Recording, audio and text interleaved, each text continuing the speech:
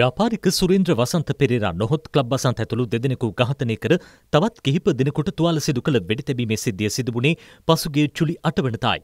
අතුරුකිරියේදී සිදු වූ මෙම අපරාධෙහි සම්බන්ධයෙන් පරීක්ෂණ පැවැත් වූ පොලිසිය ඊයේ දිනේදී තවත් සැකකරුවන් දෙදෙනෙකු අත්අඩංගුවට ගත්තා.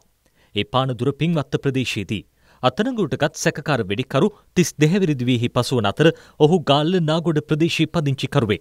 අනික් සැකකරු අහුංගල්ල ප්‍රදේශයේ පදිංචි විසි නව හැබිරිදයකු බවටයි පොලිසිය පවසන්නේ.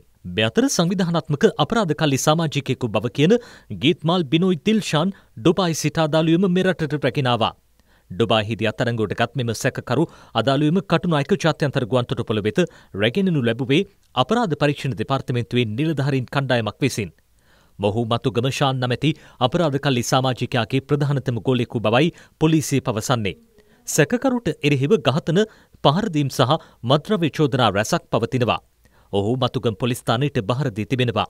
සැකකරු මතුගම මහිස්ත්‍රාත් අධිකරණයට ඉදිරිපත් කිරීමට නීමිතයි.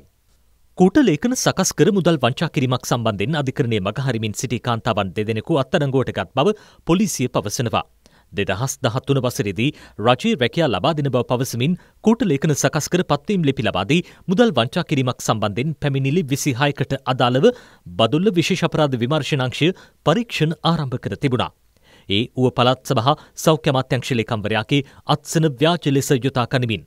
සැකකාරිය නත්තනංගුවට ගෙන අධිකරණය හමුවේ නඩු පවරා තිබුණා.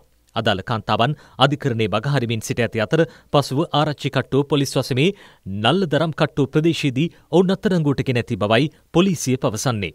අදාළ කාන්තාවන්ට අධිකරණය මකින් වරින්තු වෙසි හයක්ද නිකුත් කර තිබෙනවා.